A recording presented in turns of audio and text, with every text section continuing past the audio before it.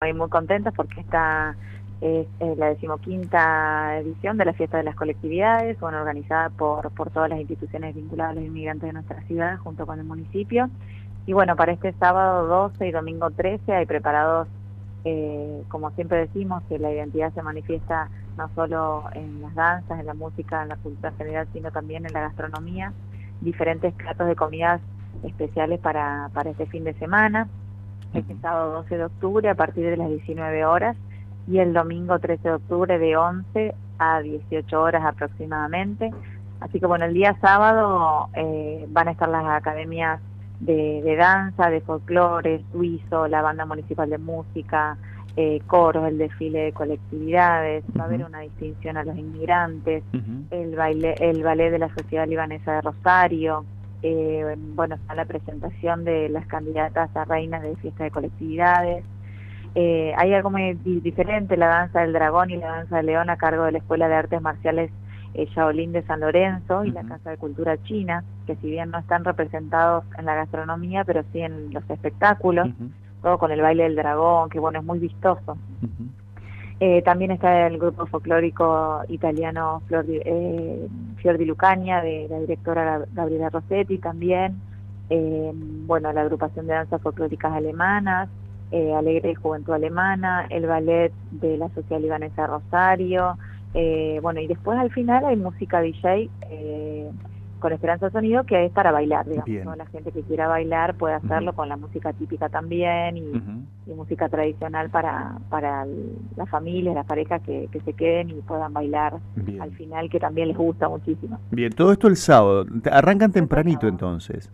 A las 19 horas. Bien. Sí, con, todo este, con todos los actos y demás. Y el domingo eh, también está el ballet de los cantones suizos está María Cristina González con las danzas nativas, está el grupo Palmaé, que no sé si los conocen, pero por son Los, hijos de los Palmeras, así que ellos están presentándose también, la Academia de, Tango y Freelance y Rax, está la compañía folclórica El Trigal, que es, eh, bueno, todas danzas folclóricas, eh, el Ballet Girasoles, la elección de la reina, los reyes del Caporal, que es un grupo juvenil de ballet folclórico boliviano, que también tienen la presentación en, la fiesta, y al final los farolitos del chamamé, así que para bailar y todo terminamos con, con ese espectáculo. Con música del litoral.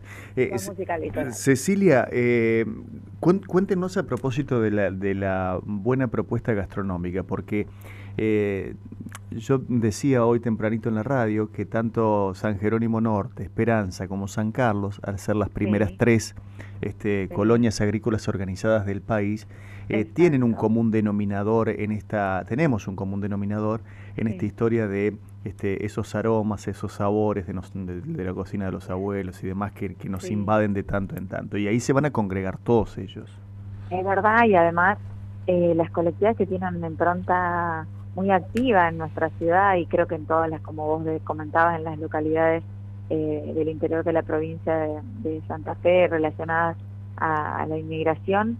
Eh, bueno, los alemanes, por ejemplo, eh, van a tener bondiola de cerdo, la cerveza con papas rústicas, chucro con salchichas, goulash, hacen un, este, bueno, hace strudel, selva negra, torta alemana, por ejemplo, los suizos y los valesanos, porque hay dos instituciones, los suizos chucrú con panceta, por ejemplo, carré de cerdo de la cerveza negra, con papas, también hacen un pancho especial, eh, postre de chocolate merengado, bueno, en realidad ahora lo estoy nombrando y le va a dar una ganas de comer. se, se, nos va haciendo agua a la boca eh, a medida que lo vamos mencionando. Falta poco, falta poco. Bueno, los, los valencianos presentan la raclette, que es algo rarísimo, o sea, no es raro, sino es muy típico de, de, Suiza, eh, pero tienen, digamos, el queso que ellos en la gran norma lo calientan y hacen como eh, lo van este, eh, quitando con una espátula y con las verduras y queda todo el queso derretido arriba, queda espectacular.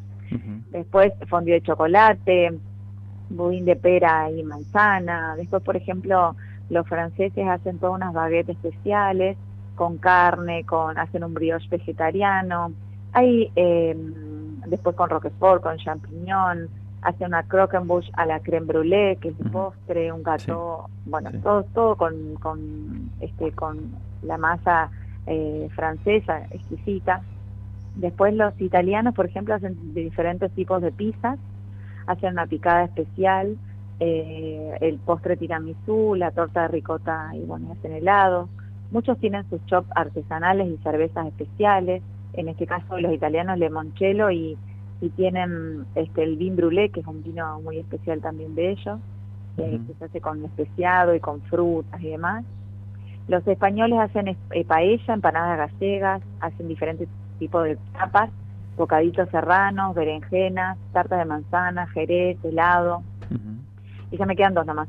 Los libaneses hacen puré de berenjena, por ejemplo, hijas, que son las empanadas árabes, niños envueltos, el famosísimo shawarma, así que vayan temprano, sí, porque para no que vuela. Eh, vuela y se arman las colas ahí. Eh, humus, eh, baklava, que son los postres, namura, los dedos de novia, son esos rollitos con con anís, adentro tienen todos esos eh, frutos secos, anís turco, café la turca y también hacen eh, comida mm, para celíacos, tienen un chef especializado para comida para celíacos, así que va a haber para veganos, va a haber para celíacos también, así que todo preparado.